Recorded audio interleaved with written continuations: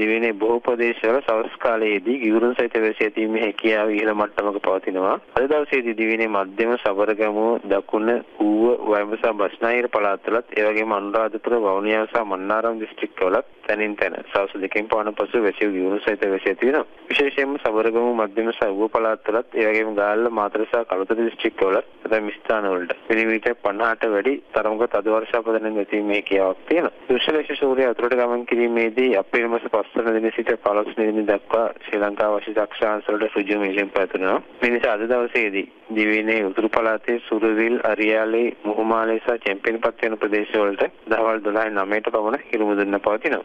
උත්තර සිට කොළඹ සහ හම්බන්තොට හරහා පොතුවිල් දක්වා වෙල්ලට ඔබෙනන මූද ප්‍රදේශවල තනින් තන වැසියෝ ගිගුරු සහිත වැසි ඇති වෙනවා. කංකසන්තරේ සිට කොළඹ හරහා මාතර දක්වා වන මූද ප්‍රදේශවල සුළම් බස්නාහිර සිට විවිධ දක්වා වන දිශාවලින් තමයි හැමන්නේ. ඒ වගේම දිනට වන සෙසු මූද ප්‍රදේශවල සුළං ගිනිකොන දිසාවෙන් හෝ නිස්ති දිසාවකින් දොර හමනවා.